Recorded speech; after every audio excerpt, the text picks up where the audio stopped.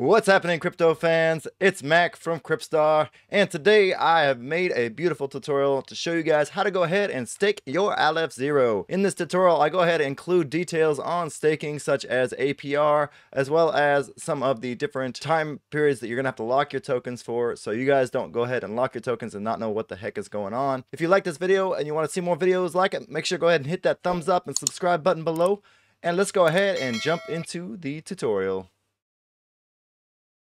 Now, in my previous episode, I showed you guys how to go ahead and switch to the Aleph Zero network. You just go here on the right and go down to live networks and then click on the Aleph Zero network and hit switch up here on the right.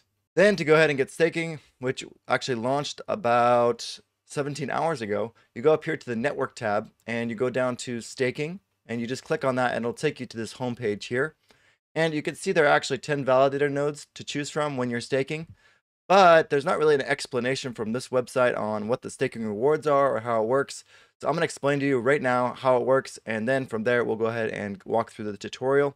Basically, in order to go ahead and stake, you need to create a stash. So you would head over to account actions and you create a stash. Staking APR actually varies based on how many people are staking on the Aleph Zero network at the time. Currently, I believe the APR is probably around 15%. I don't see a calculator for this anywhere on this website, but you can see inflation is 10%. So if 50% of the Aleph Zero is being staked, I believe that would give you about 15% APR, whereas if 100% was staked, you'd only get the 10% APR. I'm not 100% sure about this. There, I don't see a great explanation on this page. A couple other things to note before you go ahead and stake your Aleph Zero mm-hmm. is that once you stake, you have to wait till the new era starts in order to go ahead and start receiving rewards. And once your stash is actually locked into a validator node, once you go ahead and nominate the validator, you will be locked in for a total of 14 eras which is equal to 14 days. Each era is 24 hours. If your validator node stops, you can actually switch validator nodes.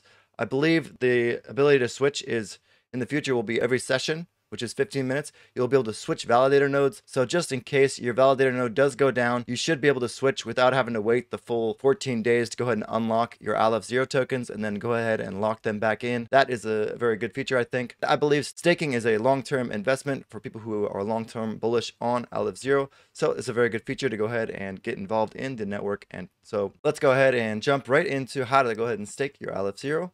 You want to head over to this account actions tab and you want to create a new stash first.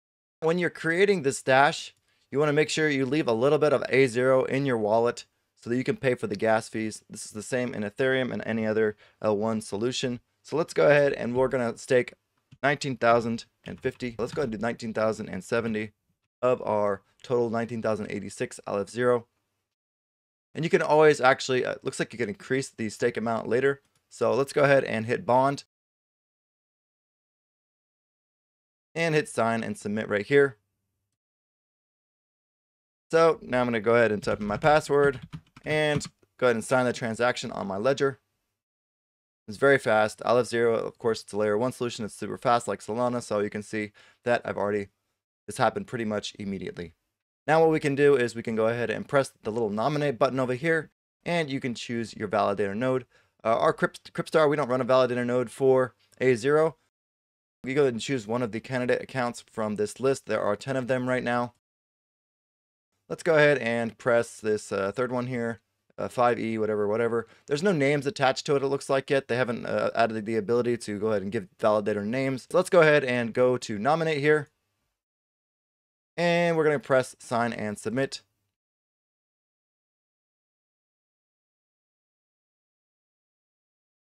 Okay, so you can see here, my transaction is approved. It looks like after about eight hours, this waiting nominations should go ahead and change to nominated. And then I should hopefully start mm-hmm. receiving rewards after that. Again, over here on the right hand side, you can see the era and how, how far it has elapsed. So it's 24 hours. Anyways, that's pretty much it for today's video. It's very simple to go ahead and nominate a validator and start staking your Azero today. I'll see you guys all in the next episode. Peace out, guys.